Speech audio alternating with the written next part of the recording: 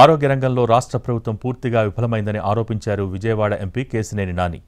ఎయిమ్స్కు central government funds Chandrababu హయాంలో భూములు కేటాయిస్తే వాటికి కనీసం మంచినీటి సౌకర్యం కూడా ఈ ప్రభుత్వం కల్పించలేకపోయిందన్నారు.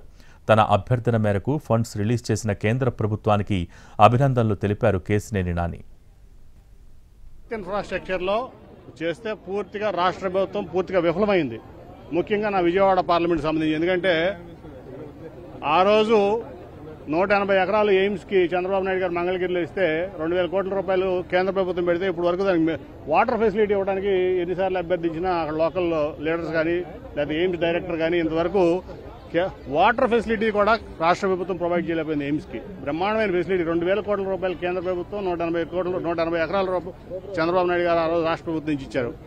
అలాగే ఆ రోజు ఈ రోజు ఉన్నటువంటి బీజేపీ జాతీయ అధ్యక్షులు నడ్డా గారు హెల్త్ మినిస్టర్ ఉన్నప్పుడు నా అభ్యర్థన మేరకు ఇప్పుడున్న ప్రజెంట్ గవర్నమెంట్ జనరల్ హాస్పిటల్లో నూట యాభై కోట్లతో మల్టీ స్పెషాలిటీ బ్లాక్ దాన్ని శాంక్షన్ చేస్తే నూట ఇరవై కోట్లు ఆ రోజు నడ్డా గారు సెంట్రల్ గవర్నమెంట్ నుంచి ఇచ్చారు ఆరోగ్య శాఖ నుంచి.